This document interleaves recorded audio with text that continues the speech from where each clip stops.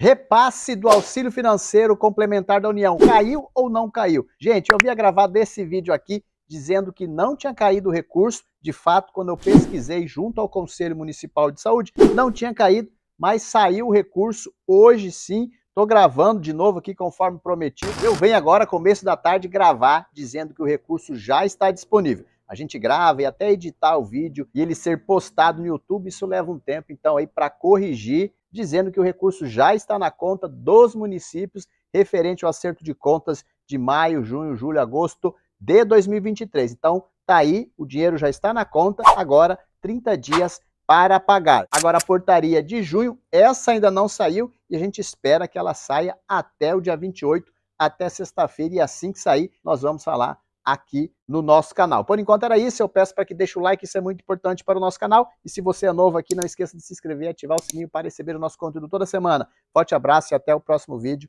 Tchau, tchau.